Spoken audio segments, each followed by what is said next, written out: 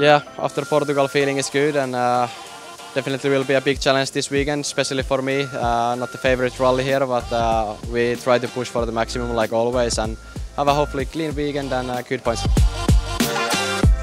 Oh, of course, I mean, uh, it's always the target when I start a rally, try to fight for the win.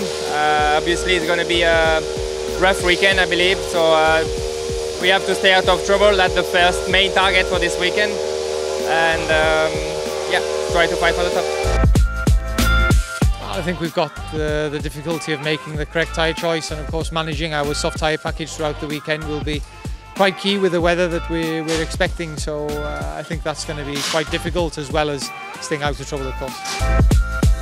Yeah, I think it's a spectacular one here to start the rally uh, in the city, mixed surface, half on tarmac, half on gravel, so with some big jumps. So uh, uh, of course, uh, yeah, I have to be focused right away to don't do uh, something uh, silly here starting the rally, but of course uh, the, the real start is, uh, is tomorrow.